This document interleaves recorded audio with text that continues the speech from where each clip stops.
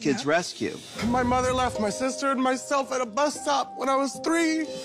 And I remember it like it was yesterday, and I tried to stay so strong, but it was so weak at the same time. That's funny. Tell another one.